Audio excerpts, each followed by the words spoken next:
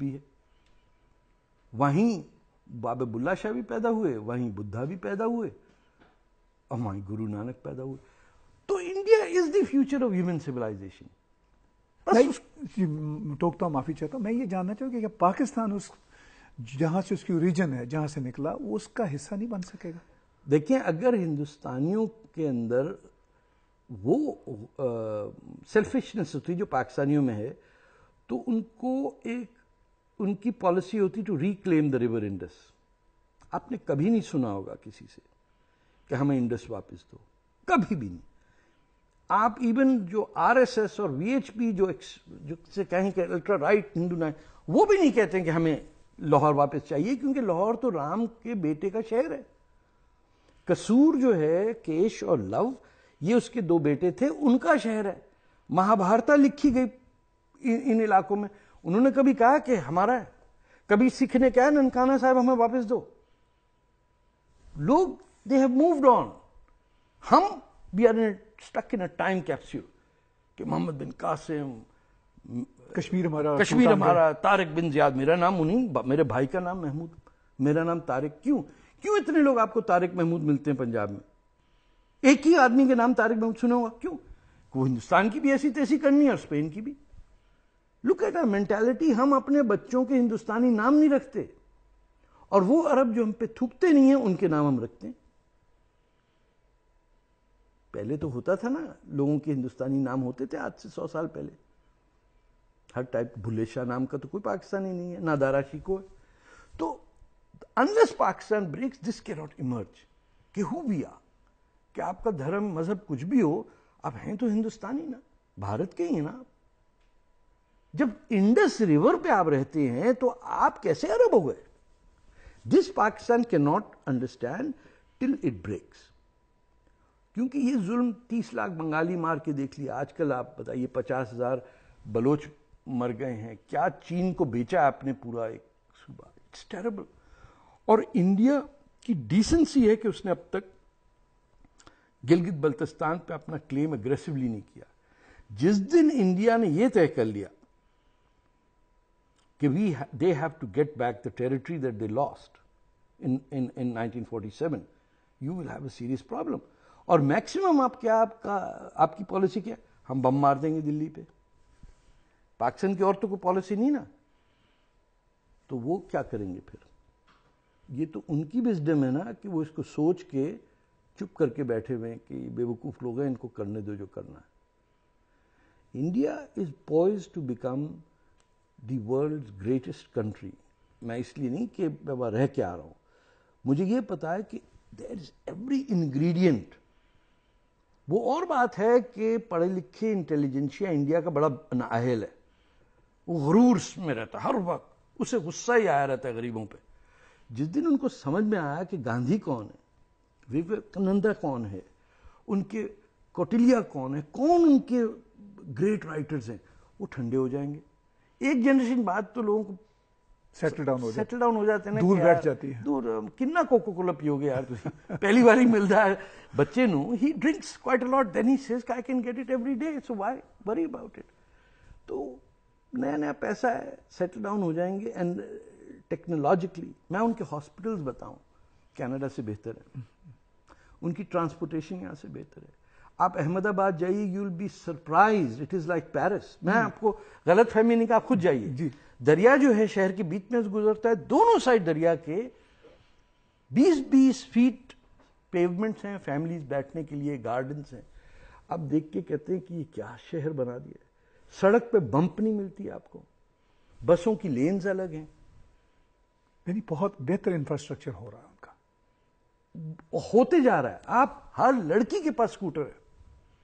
आप किसी गाँव में चले जाएँ चली जा रही मोटरसाइकिल पे लड़की। ये बहुत बड़ी बात है education vast number of people coming out educated थोड़ा सा वो ट्वीक करेंगे ठीक हो जाएगा एक और गांधी पैदा हो जाएगा। सब ठीक हो जाएगा। मोदी जी को आप कैसे देखते हैं? मैं समझता हूँ कि ही देखिए एक आदमी ना शराब पीता है ना जुआ खेलता है ना इश्क करता है अठारह घंटे काम करता है। कुछ ना कुछ ठीक तो निकलेगा। ना वो करप्शन करता है। ना वो करप्शन करता है ना वो कुछ उस गलत काम करता ही नहीं है। मैं तो अहमदाबाद जाके हैरान हो गया जितने मुसलमान उसको सपोर्ट करते मेरे तो इन लॉज आपको पता है गुजरात के आई वॉज़ सरप्राइज़ मैं समझे एक्टिंग वैक्टिंग कर रहे हैं। नहीं जैसे कि उसके बाद तो राइट हुआ ही नहीं कभी। हाँ ये एक मसला यहाँ कनाडा में जब मोदी जी आए थे पिछले हाँ। दिनों आप उस वक्त इंडिया में थे तो यहाँ पर सिख ऑर्गेनाइजेशन बता कर रही थी कि ये मुसलमानों सिख ऑर्गेनाइजेशन क्या कर रही थी? हमारी एम्बेसी कर रही थी जाने दें उनको। जा मिट्टी पाओ जी। देखिए सीधी बात है। Communal clashes is not new to India. यानी ये जो 2001 या 11 जो है गुजरात के क्लैशेस होते ही रहते थे। Every few years there would be a clash the only time clashes have stopped is after that tragedy right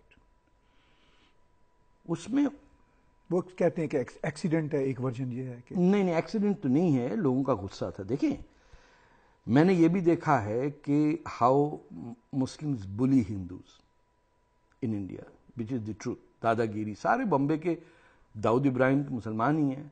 आप नई फ़िल्म आई, बॉम्बे वेलबेट देख लीजिए। वो किताब पे बेस्ड है, जिसपे Salman Rushdie has said one of the most authentic stories of Bombay is that book. It is Muslim dominated. There is a great uh, reason for Muslims uh, and they might pay a price. साढ़े चार बजे पूरे हिंदुस्तान में कोई करोड़ों मस्जिदों की अजानें शुरू हो जाती हैं अगर ये मुसलमान होते और कोई और कर रहा होता तब तक पिटाई हो चुकी होती चुप के लोग बर्दाश्त करते मैं एक शहर में था भीमताल में 600 मुसलमान रहते हैं बारह हज़ार हिंदू रहते हैं। साढ़े चार बजे सुबह इतनी चिल्ला चिल्ला के अजान सुनी कि मैं पैदल डेढ़ किलोमीटर गया हूँ जाके मौलवी से लड़ने के लिए मैं देखा सात आदमी नमाज़ पढ़ रहे थे। सिर्फ़ सात आदमी। शाम तक बैठा रहा बताइए कि ये हुसन खलूक की आप बात कर रहे हैं? और वो कन्विंस्ड हैं कि नहीं हमारे जो हिंदू दोस्त हैं वो कहते हैं अगर अजान नहीं हुई तो हम उठेंगे कैसे? मैंने कहा या वो झूठ बोल रहे हैं या आप झूठ सुन रहे हैं? क्योंकि इससे ज़्यादा दहशत वाली चीज़ इन टूरिस्ट टाउन नहीं हो सकती कि पूरा हिल स्टेशन हिल जाता है लेक की वजह से। उन्होंने जनाब पूरी बात सुन के दूसरे दिन अजान खत्म की सुबह की। अच्छा कन्विंस हुए कन्विंस हुए पूरी कमेटी बैठी उन्होंने कहा था बात तो आप सही कह रहे हैं। मैंने कहा यही समझ लीजिए कि लाउड स्पीकर को कुफर समझ लीजिए। आजान दे जब साथ ही आदमी आ रहे हैं तो रिटर्न ऑन इन्वेस्टमेंट तो देखिए। कि आपका वो एक लाउड स्पीकर सेट कर रहा है, फूक मार रहा है उस पर हेलो हेलो करके फिर अजान देता है। लोग उठ जाते हैं, फिर अनाउंसमेंट कर रहे हैं कि लंडन के अब्बा के बच्चा हो ये और उसकी मैयत जाने वाली बच्चे की शादी होगी सारी कम्युनिटी अनाउंसमेंट कर रहे हैं। आप साढ़े चार बजे सुबह यार, खुदा का खौफ करो। अल्लाह मियाँ भी कहते होंगे यार ये जरा बंद करो। ये क्या? वो loud speaker every city of India is affected if Muslims tomorrow decided कि मॉर्निंग के अंदर हम अजान लाउड स्पीकर भी नहीं देंगे।